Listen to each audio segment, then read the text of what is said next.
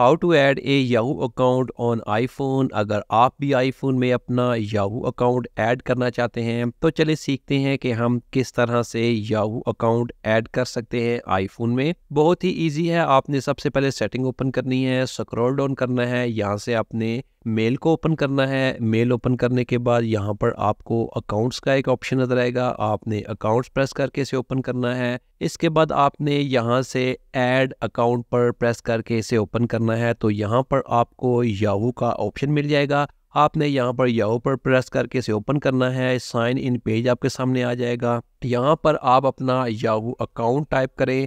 Yahoo account type करने के बाद आपने यहाँ पर नेक्स्ट बटन पर प्रेस करना है। जैसे कि मैं यहाँ से याहू अकाउंट ऐड करता हूँ, इसके बाद नेक्स्ट करता हूँ। नेक्स्ट करने के बाद आपको अगर यहाँ पर एक कैप्चा फिल करने को मिला तो आपने पहले यहाँ से कैप्चा फिल करना है। जैसे कि मैं कैप्चा फिल करता हूँ वेरीफाई करूँगा तो इसके बाद आपने यहाँ पर अपने याहू अकाउंट का जो पासवर्ड है, वो टाइप करना है। मैं पासवर्ड टाइप करके यहाँ से नेक्स्ट करूँगा। नेक्स्ट करने के बाद यहाँ पर याहू अकाउंट।